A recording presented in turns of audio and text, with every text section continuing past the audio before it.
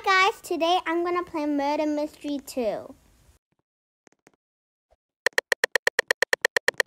Wow, I got murderer first round.